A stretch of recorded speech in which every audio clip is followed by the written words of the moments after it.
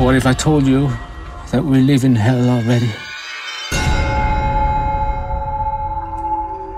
Do you think that we see the entirety of everything that's around us in the world?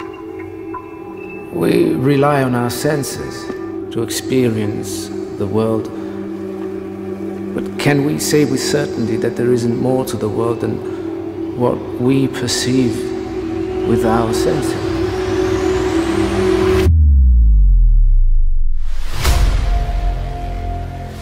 Still won't tell me what you're working on. No. If I tell you, you too will think I'm crazy. You know the pond is artificial. It was made by people so they could go fishing. And there's some theory about a crazy fish. There are symbols everywhere. In the woods, in the ponds, even in my home.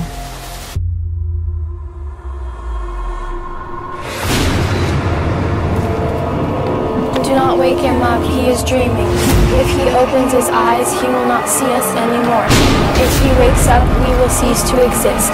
If we stop playing to him, he will have nightmares. Gavin!